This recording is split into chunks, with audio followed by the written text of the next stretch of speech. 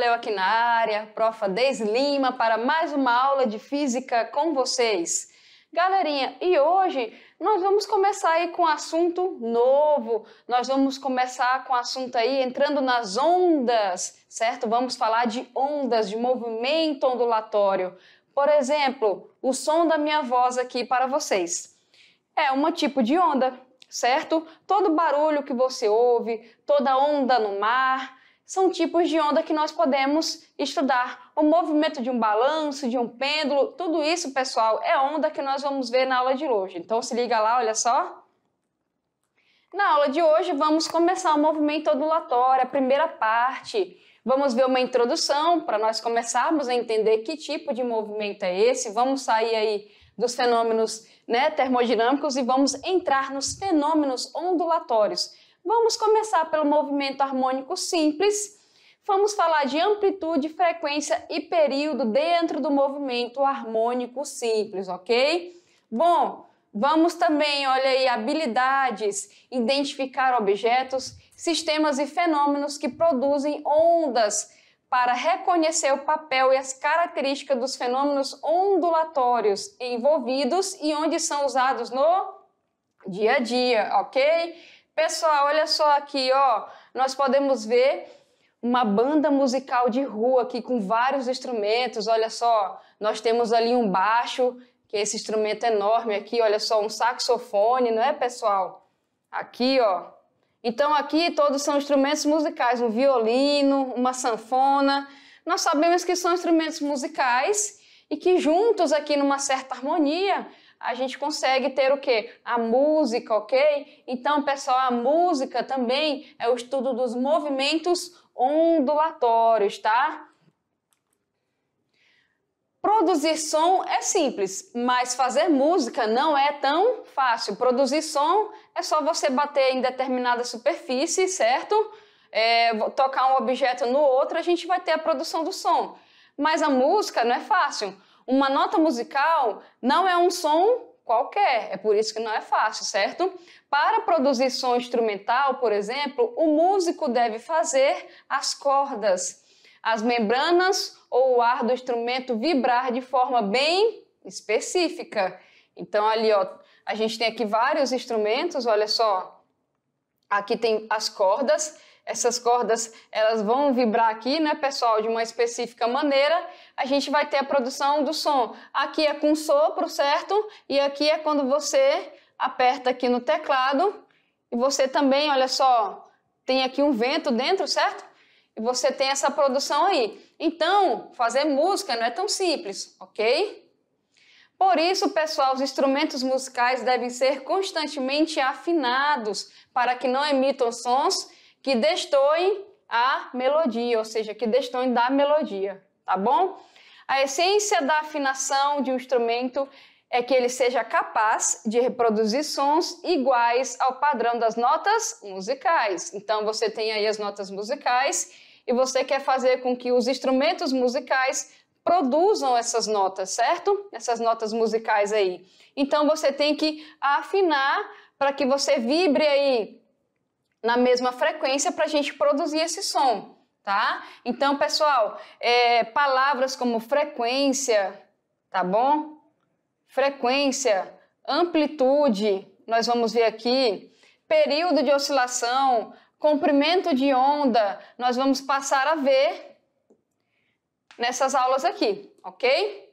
Olha só, o sucesso de uma apresentação solo ou de uma grande orquestra se deve ao talento individual de cada músico, associado à intensidade, olha só as características aqui, ó, associado à intensidade, à altura e timbre do som que os instrumentos proporcionam. Então você tem que pensar, galera, em tudo isso daí, ok? Para se produzir música, tá?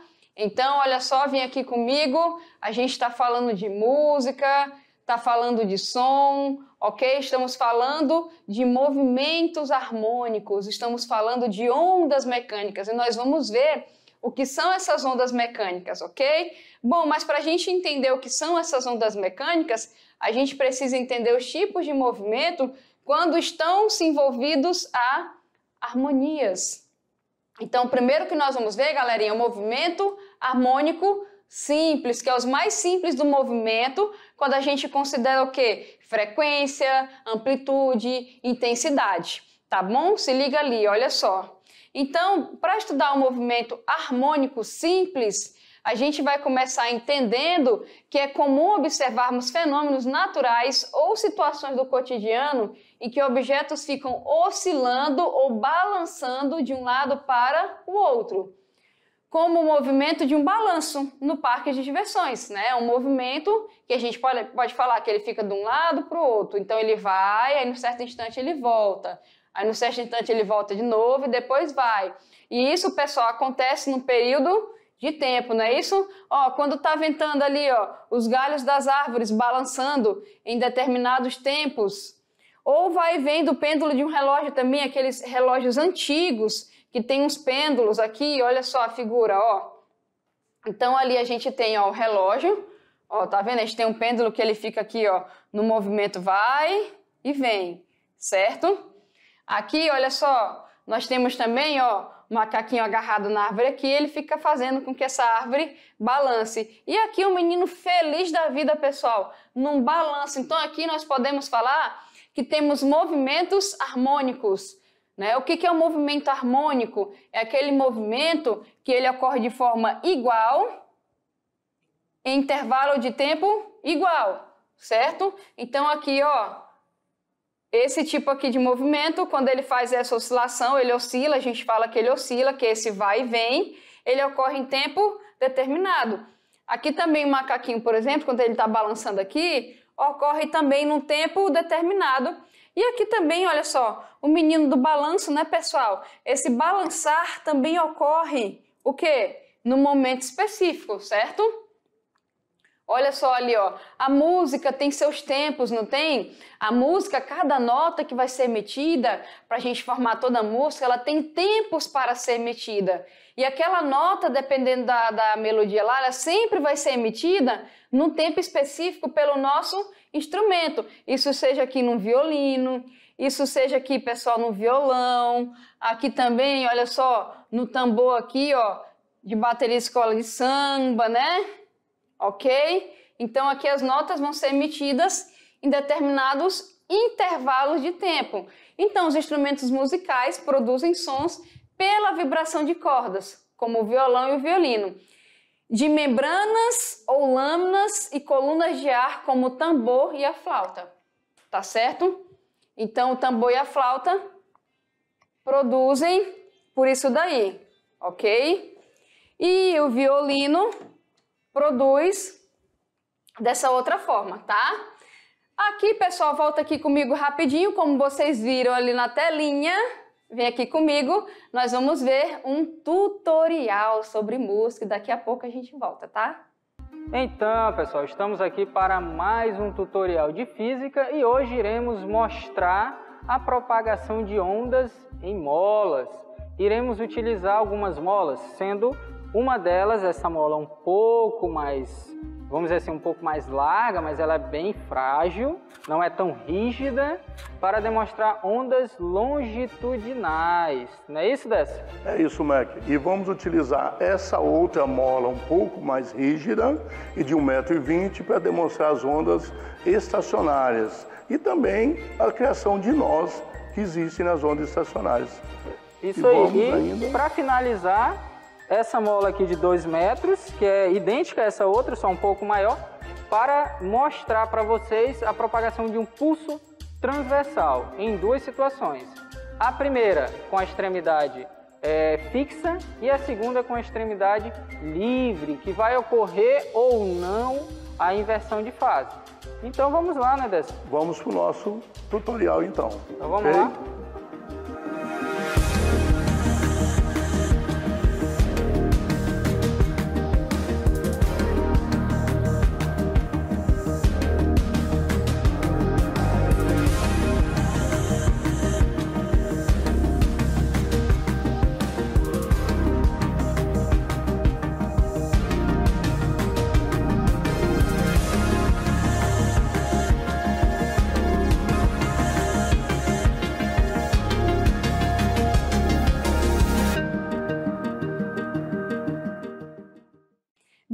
Pessoal? Bacana, né? Aqueles tutoriais das nossas aulas que ajudam a nós a entendermos o conteúdo e a gente vai continuar falando isso daí. Olha lá na telinha.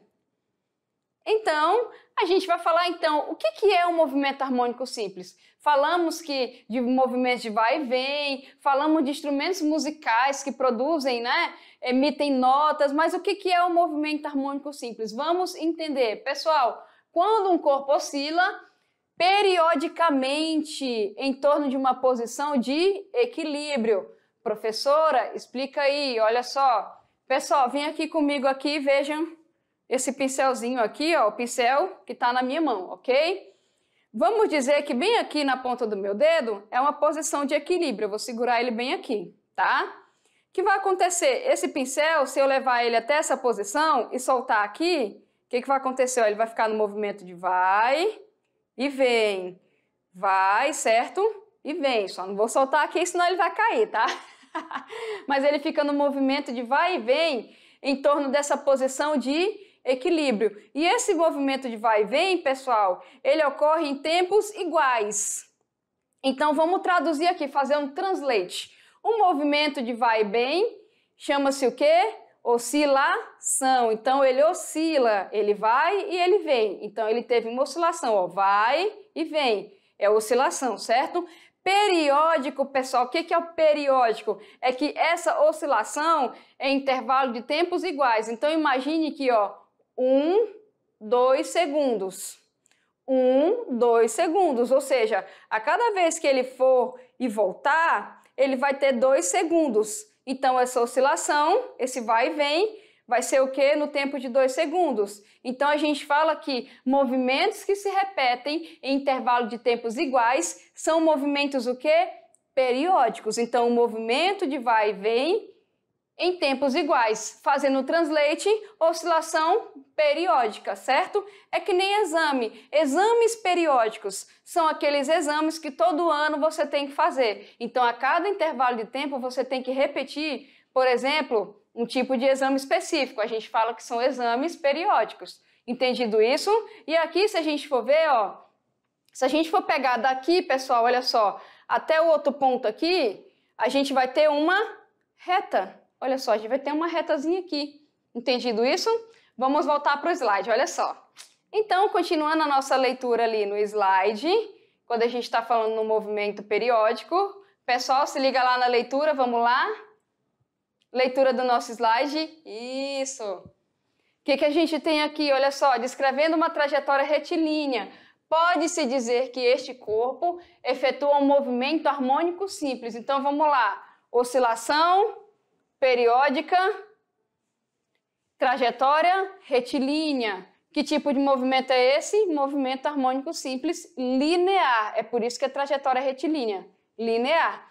E este ocorre em razão da ação de uma força restauradora, certo? Que é aquela força, pessoal, que a gente viu lá no segundo ano, que é a força centrípeta, que une essa partícula ao centro, ok? No estudo feito no movimento harmônico simples, MHC, que é a abreviação, tá, pessoal, de movimento harmônico simples, utilizaremos como referência um sistema de massa-mola, que pode ser visualizado na figura a seguir, que é um sistema que fica mais fácil para a gente estudar. Então, aqui, olha só o que, que vai acontecer. Se você pega esse bloco de massa M e puxa ele até uma certa posição aqui, se você soltar, pessoal, ele vai, fazendo, vai fazer o movimento de vai e vem, vai e vem, certo? Então aqui, olha só, aqui é a posição de equilíbrio dele, ok? Se você puxar ele, por exemplo, mais para cá e você soltar, ele vai ficar fazendo esse movimento de vai e vem em torno da posição de equilíbrio. Né? Ele passa pela posição, volta, passa pela posição, volta. Até o que? Ele está tentando buscar o equilíbrio e voltar à posição de equilíbrio dele. Então ele está o que? Oscilando, que é o movimento de vai e vem, e ele vai fazer isso no intervalo de tempo igual. Então é periódico. Entendido isso? Ok? Nesse sistema, jovens, desprezaremos as forças dissipativas. Quais são as forças dissipativas? A gente tem o atrito e resistência do ar, tá? O atrito aqui com solo, a resistência do ar são as forças dissipativas. A única força que a gente vai levar em consideração aqui é a força restauradora dessa mola aqui, tá, pessoal? A força restauradora é aquela força que faz com que esse bloco aqui volte à sua posição de equilíbrio, tá?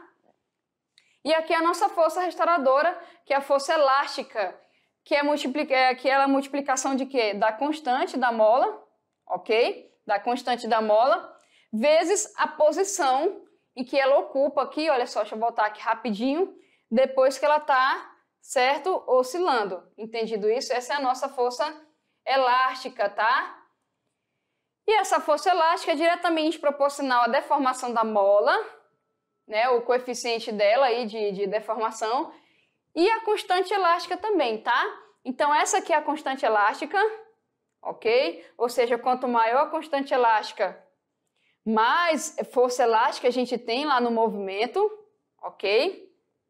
E quanto mais ela se afasta da posição, né, que é a deformação, mais força elástica a gente tem também, tá, pessoal? Então, essa força restauradora da mola, ela é dada por esses dois itens aí, ok? Fechado?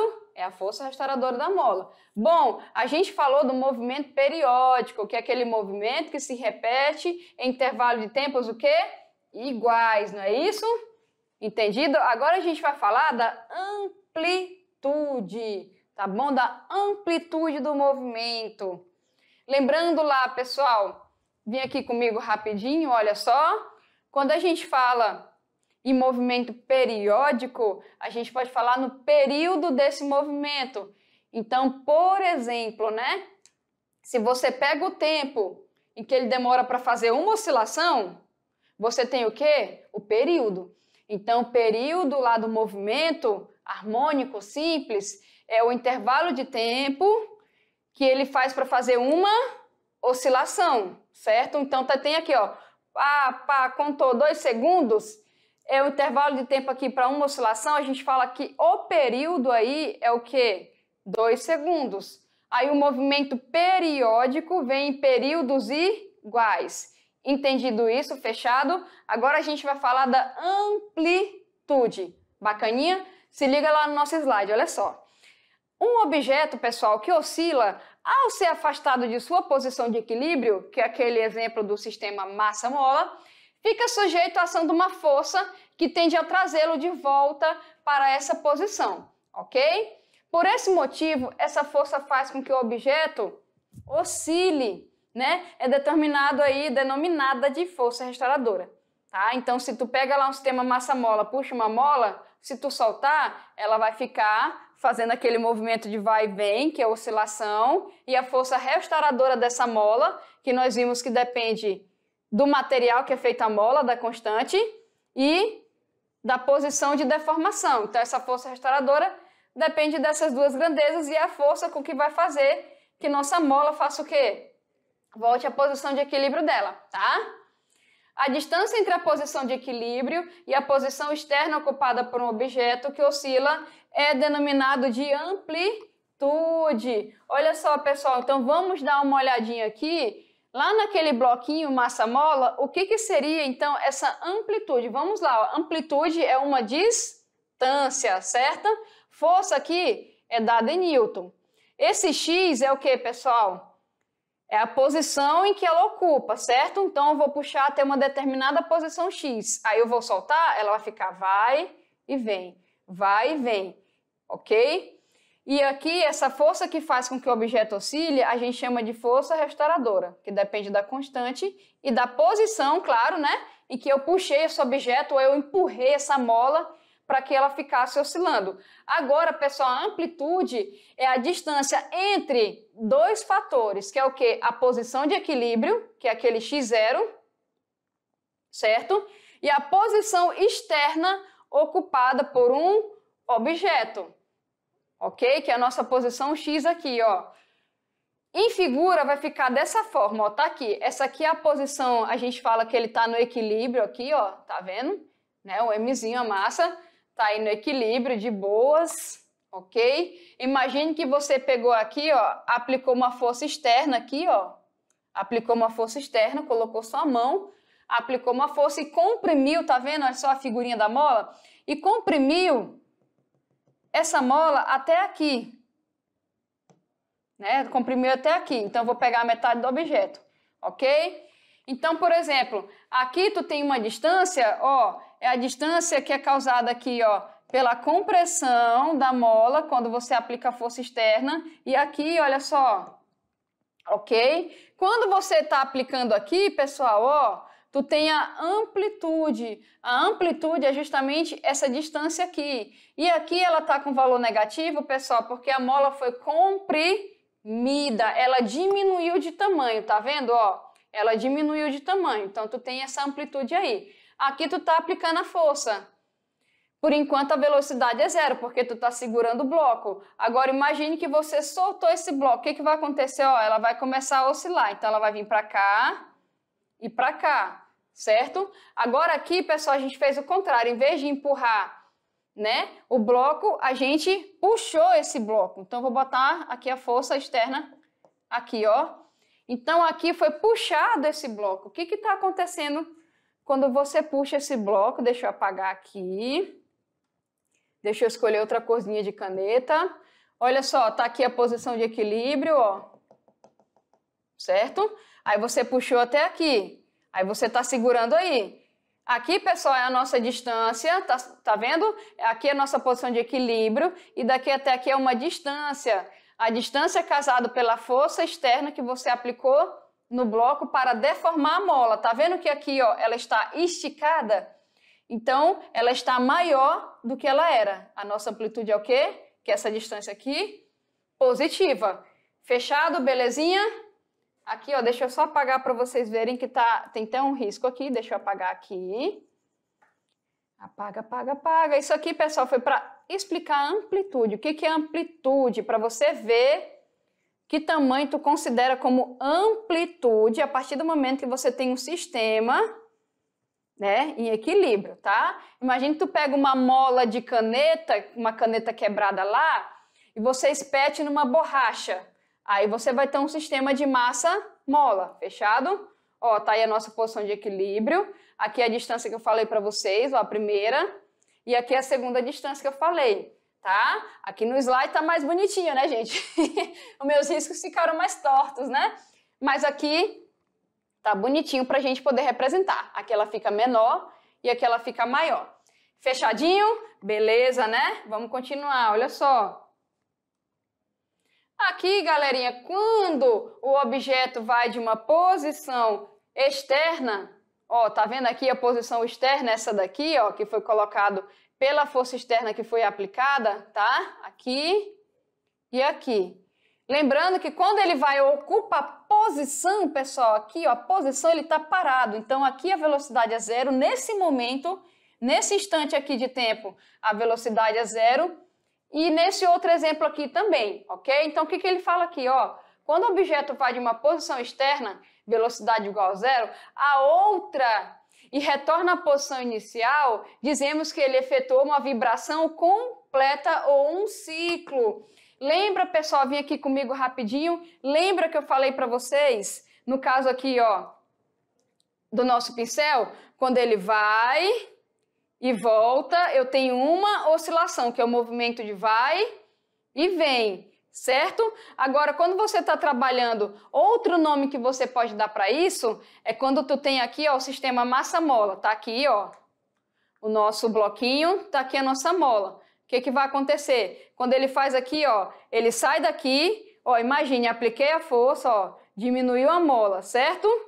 Soltei, aqui a velocidade é zero, soltei, o que, que ele vai fazer, ó? Ele vai, passa pela posição de equilíbrio aqui no meio e volta. Então, esse movimento de vai e vem, como eu estou falando do sistema massa-mola, tu chama de vibração. A gente fala que é um ciclo. O que, que é um ciclo? Ele vai e volta. Ele vai e volta. Aqui tu fala como é pêndulo, a gente fala oscilação, ou seja, o ciclo é ele voltar, certo? Que é o vai e vem. E quando tu fala em movimentos aqui elásticos, com coisas elásticas, a gente fala que é a vibração, ó, vai e volta. Aí você tem um ciclo. Entendido isso? Oscilação geralmente é para coisas que estão ó, penduradas, estão balançando, tipo balanço, é o pêndulo do relógio. Se tu pegar uma pedra né, e amarrar numa linha e soltar aqui, ó, ela vai fazer isso, ó. Então, oscilação, ela vai e volta, é oscilação. Agora, coisas elásticas, elas vibram. Então, a gente fala movimento vibratório, que é movimento de vibração. Ela ir e ela voltar. Aí, ela fecha o ciclo. Fechado? Entendido isso? Vamos ver um exemplo, pessoal? Olha só. Então, ali a gente tem um exemplo aqui, ó. Um exemplo 1. Um, um bloco preso a uma mola oscila sem atrito, certo? Tá aqui uma superfície azul ele vai oscilar sem atrito. Olha só, aqui no zerinho, a gente tem a posição de equilíbrio, ok? No B é quando a mola expande e no menos B é quando a mola contrai. Então aqui, olha só, ele está oscilando, certo? Entre os pontos B e B', mostrados na figura. O ponto O representa a posição de equilíbrio do bloco para um instante ok? Ponto. Para o instante em que ele passa pela posição indicada na figura, desloca-se para a direita, responda. Olha só, ele quer para a direita, ó. Na direita aqui, pessoal, a gente pode ver que ele passou pela posição de equilíbrio aqui, ó, e ele está mais perto aqui, ó, ocupando o lado B', que é a parte da amplitude negativa da compressão, certo? Entendido isso? Aqui eu dei um spoiler, né, na letra B, mas vamos entender. Olha só. Qual é o sentido da força restauradora que a mola exerce no bloco? Ok? Aqui, pessoal, olha só. Se ele está aqui, ó, deixa eu voltar aqui rapidinho. Se ele está vindo nessa direção aqui, ok? A força restauradora, gente, tá, ele está empurrando, certo? A mola está falando, ei, tu está me empurrando, eu não quero empurrar não. Então, o que, que eu vou fazer? Eu vou exercer uma força para o outro lado. Então, aqui é a força restauradora do, da mola, ou seja, aqui é do bloco que está em verde, certo? Que é a força que a massa está exercendo na mola, e a restauradora que é o que? O oposto, né? Ela quer se restaurar. Então, é para onde? Para a nossa esquerda. Se uma está para a direita, a outra é para a esquerda. Deixa eu ver aqui, que é o que está escrito aqui, ó.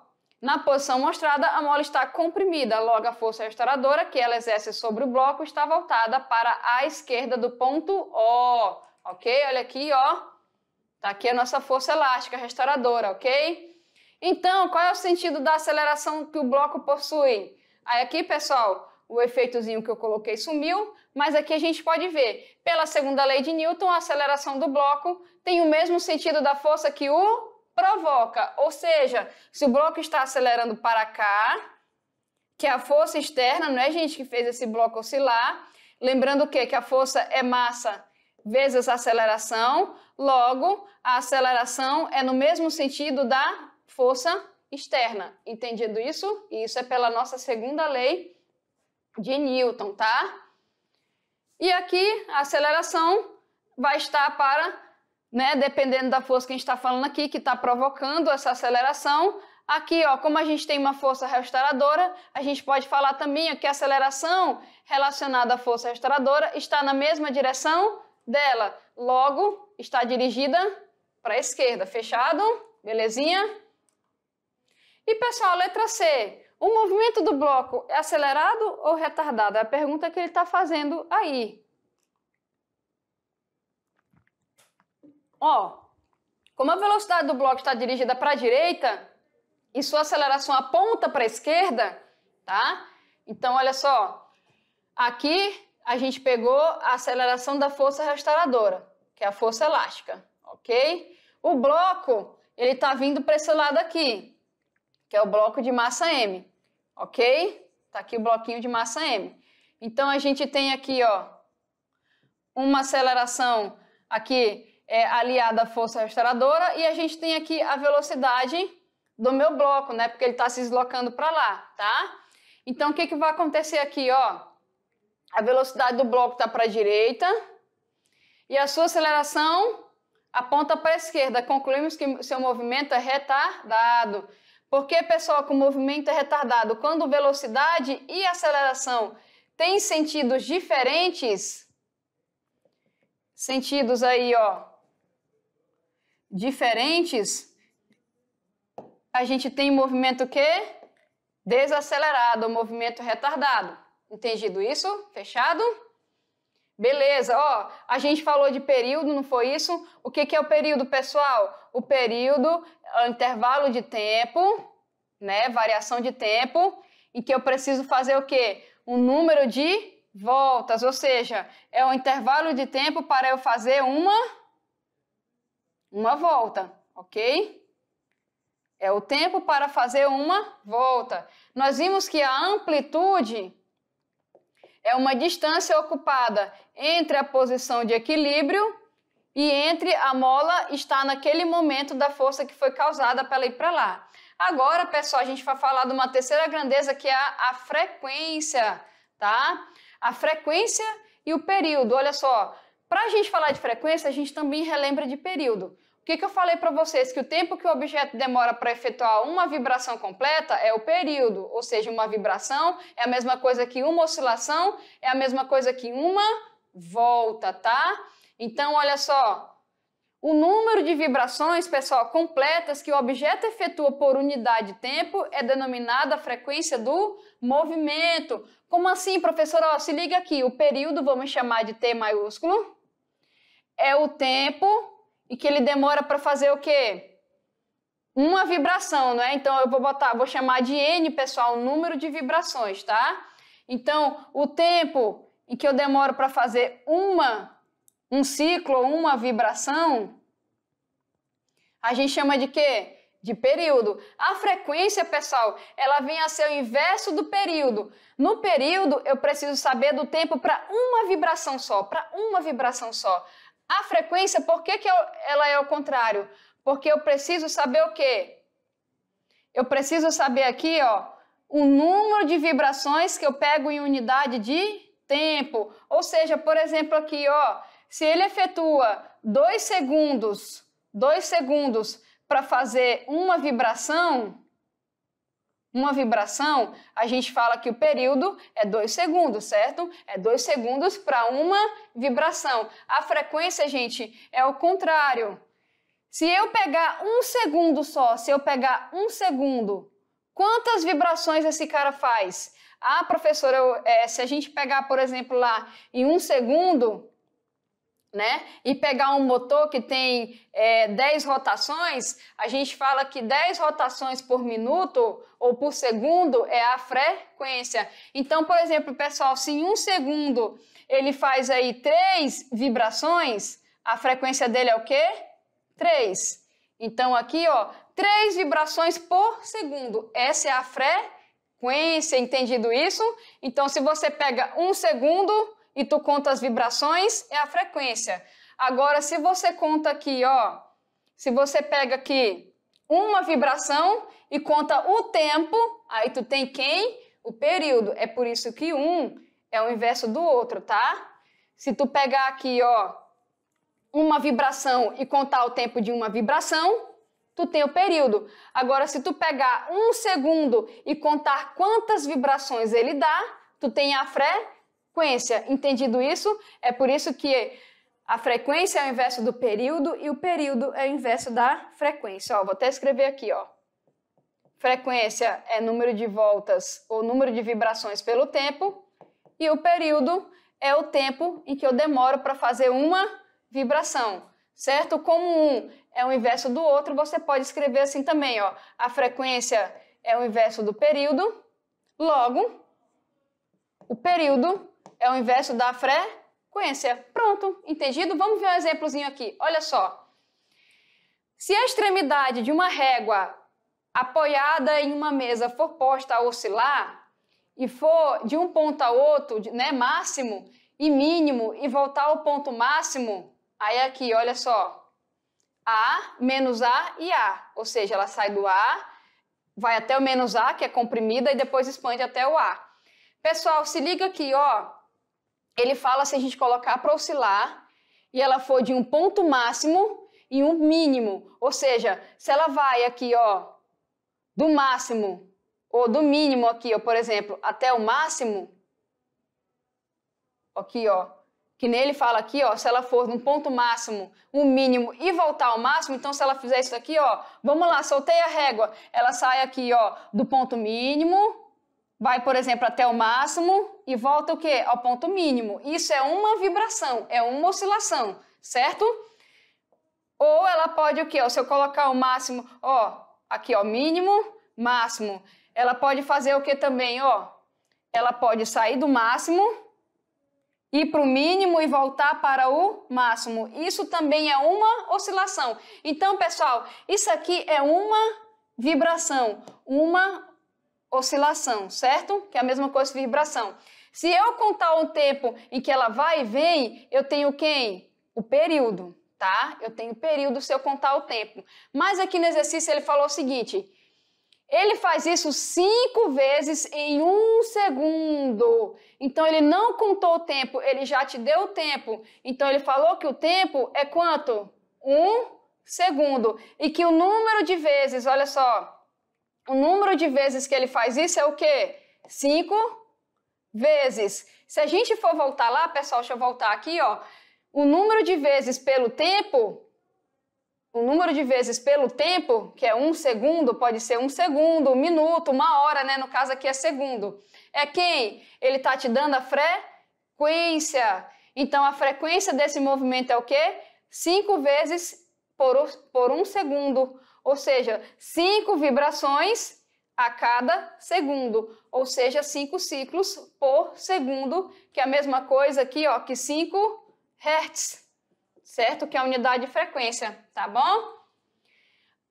A unidade de uma vibração, agora sim, pessoal, a unidade de uma vibração ou um ciclo é denominada 1 Hz, certo? Que é de um físico alemão lá, o Hertz, lá do século XIX, tá?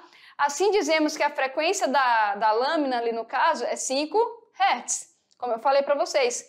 Note, se a régua executar 5 vibrações em um segundo, é 5 Hz. O tempo que ela gasta para efetuar uma vibração, pessoal, como é que tu faz? É 0,2. Por quê? Se a frequência é 5 Hz, o período é o inverso da frequência. É 1 sobre... Opa! É 1 sobre 5 é 1 sobre 5. E 1 sobre 5 é 0,2. Então, esse é o nosso período. Entendido isso? Generalizando, pessoal, o que a gente pode falar? Se um objeto oscila com uma frequência f, o seu período de vibração é dado o quê? Como eu falei para vocês, pelo inverso, tá? Tá aí, ó. O período é inverso da frequência, a frequência é inverso do período, como eu falei para vocês, ok? E aqui a gente tem mais um exemplozinho, olha só, um objeto que executa um movimento harmônico simples leva 0,25 segundos para se deslocar de um ponto de velocidade nula para um ponto seguinte do mesmo tipo.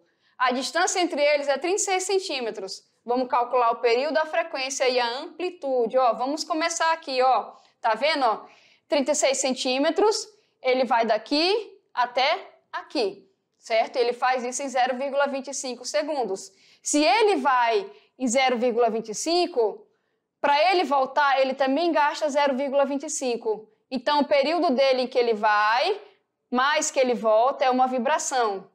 É quanto? 0,5. É só multiplicar esse cara por 2. E a frequência, pessoal, é o inverso do período, é 1 sobre t. É só dividir. Fica quanto? 1 sobre t, 2 Hz. E a amplitude do movimento, o que, que é? É tu pegar a posição aqui de equilíbrio e pegar até uma extremidade. Ou seja, é só tu pegar o 36 e dividir por quanto?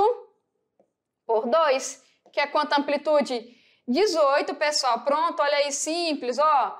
Esse aqui, marca a alternativa que indica o período de revolução de um satélite geoestacionário. O que é um satélite geoestacionário? São aqueles que giram é, em um ponto da linha do Equador e que possui período igual de rotação da Terra. Qual é o período de rotação da Terra? 24 horas. Logo do satélite também é o quê? 24. Olha aí que bacaninha, né? Outra aqui, ó, o período de translação da Lua ao redor da Terra corresponde a 28 dias. Sendo assim, determine a porcentagem diária aproximada da translação da Lua. Aqui, galera, o que a gente vai fazer, ó? Aqui o nosso período é 28 dias. A frequência é o inverso do período. Então a gente dividiu aqui, tá vendo? Como é que tu faz para saber a porcentagem? A porcentagem aqui, ó, a cada dia, a gente tem aproximadamente 3,6%. É só você fazer a multiplicação desse cara por 100 para transformar em porcentagem, tá, pessoal? 3,6, entendido aí? Olha só, vem aqui comigo. Aí a gente vê, viu o movimento harmônico simples, tá bom? Mas na próxima aula tem Resumex para vocês. Tchau, tchau.